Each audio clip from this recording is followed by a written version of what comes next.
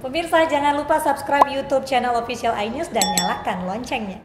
Lima anggota polisi ditangkap di Propam Mabespori dan Bid Propam Polda Jawa Timur karena pesta narkoba di sebuah hotel kawasan Surabaya Selatan Jawa Timur. Dalam penggerbekan ditemukan berbagai jenis narkoba.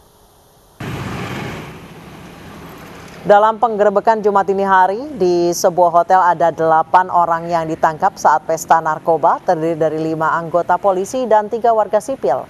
Ditemukan barang bukti sabu sekitar 27,4 gram, 8 butir Happy Five, dan satu pil ekstasi.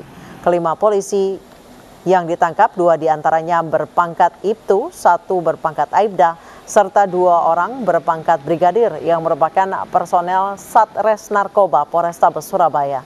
Dari pemeriksaan urin lima oknum polisi, empat di antaranya positif, sementara satu orang masih dalam pemeriksaan di laboratorium.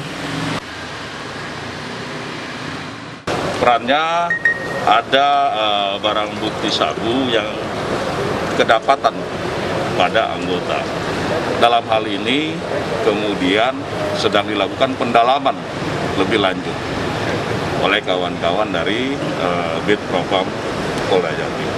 Tapi sekali lagi kami tidak mentolerir serotoleransi terhadap oknum-oknum uh, Polri yang melakukan penyalahgunaan